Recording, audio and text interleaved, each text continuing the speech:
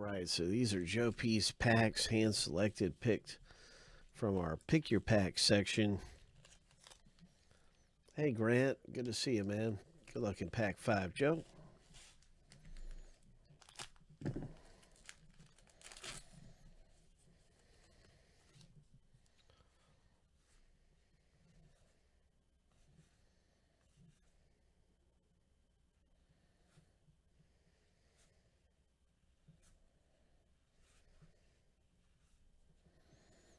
All right, we'll take a look at the backs at the end of your packs that you have here. Let's go ahead and rip pack 21.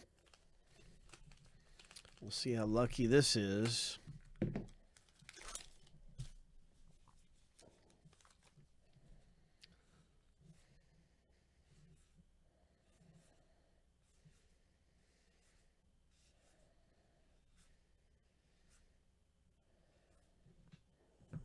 right, and here is pack 48. So we're looking for red ink autos. We're looking for silver team nameplates.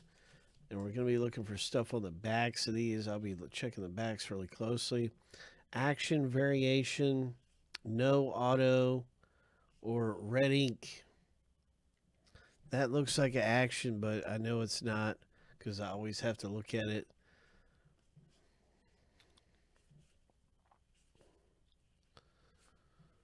All right, so no red ink, no no ink. Hopefully we got some short prints. Hopefully we got a short print or two for Mr. Joe P. Out of your packs. Good luck. Just going through and looking for anything on the backs of these numbered over 400 or something that might signal a variation. Man, there is absolutely nothing over 400. And so kind of a surprise. But you got you got some really nice cards coming out to you. Some really good things popped loose. And heritage.